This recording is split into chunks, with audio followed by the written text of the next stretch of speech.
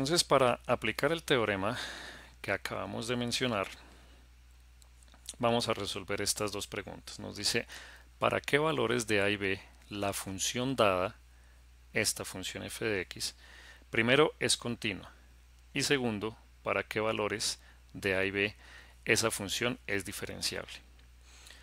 Lo primero que podemos ver es que el primer trozo de la función es un trozo cuadrático para todos los valores de x mayores que 1, o los que están a la derecha del 1.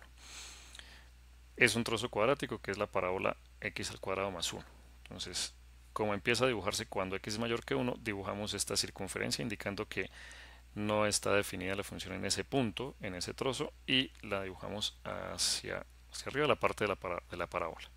Entonces vamos a responder la primera pregunta. ¿Qué valores hacen que la función sea continua? Entonces, para que la función sea continua, lo que tenemos que asegurar es que el segundo trozo, que es el trozo lineal, rellene este punto de tal forma que el límite lateral izquierdo, el límite lateral derecho de la función valgan lo mismo y que la función esté definida en ese punto que es 1. Si, si en el primer trozo x fuera igual a 1, f de x sería 2. Es decir, lo que tenemos que determinar es que f de 1 es igual a 2.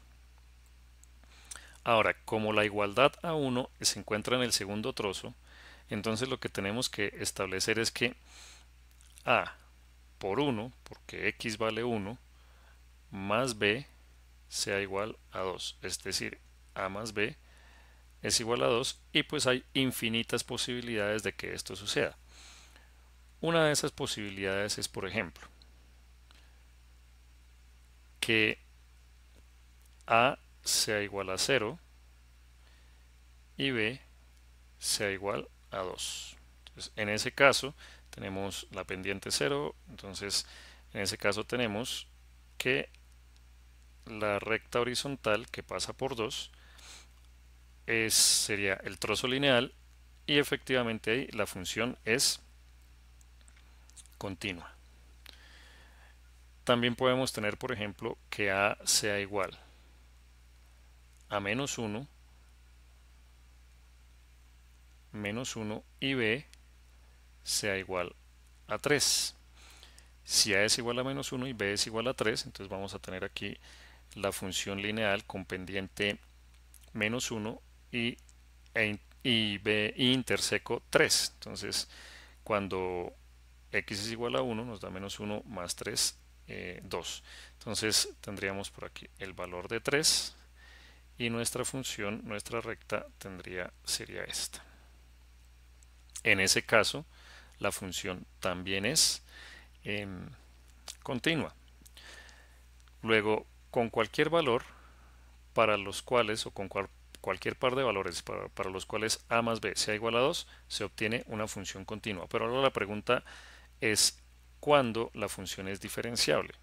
Y para que una función sea diferenciable, en un punto tiene que cumplirse que el límite cuando x tiende a x sub 0 por la izquierda de la primera derivada de la función sea igual al límite cuando x tiende a x sub 0 o al punto por la derecha de la primera derivada de la función.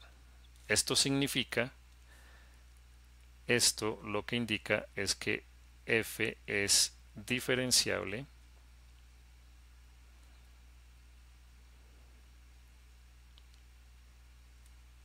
en x igual a x0. Bien, entonces, para que nuestra función del ejemplo sea diferenciable, en x igual a 1 debe cumplirse esto. Es decir,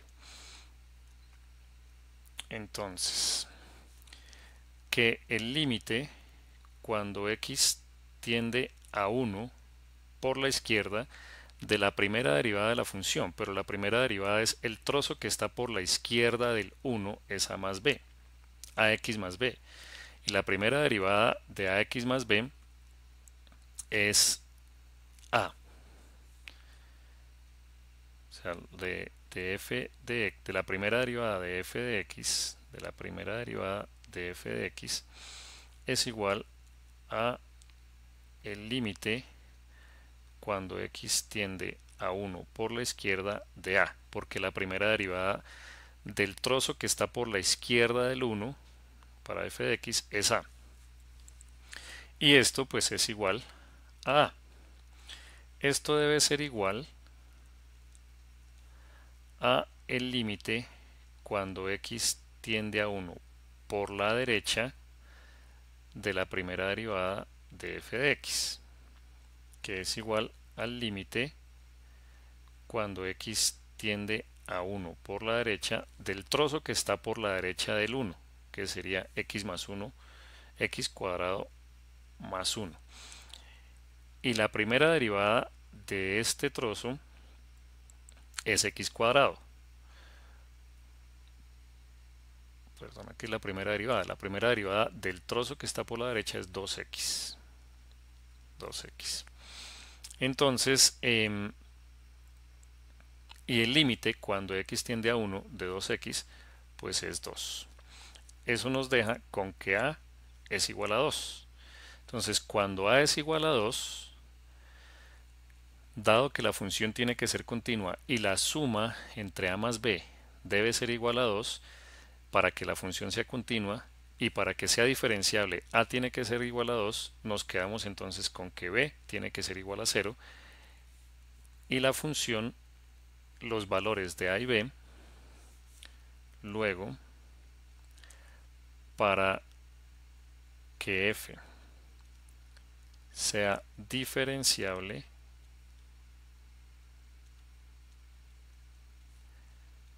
en x igual a 1, A debe ser igual a 2 y B debe ser igual a 0. Con lo cual entonces nuestra gráfica sería mm, aproximadamente esta. Entonces esta es la recta, esta es la pendiente de la recta que hace que la función sea muy suave ahí, no tenga un, pico, no tenga un, como una montaña, el pico de una montaña grande ahí, sino que la función es suave en ese punto. Entonces la función es diferenciable si la función es, en inglés se pronunciaría smooth. Decimos la función es diferenciable si es smooth, si es suave en un punto. Si es pico, en ese punto la función no puede que sea continua, pero no es diferenciable. Entonces, bien, con eso terminamos la segunda lectura de nuestro curso de mm, cálculo en, en una variable eh, y vamos estudiando la introducción a, la, a la derivada. Muchas gracias a todos por su atención.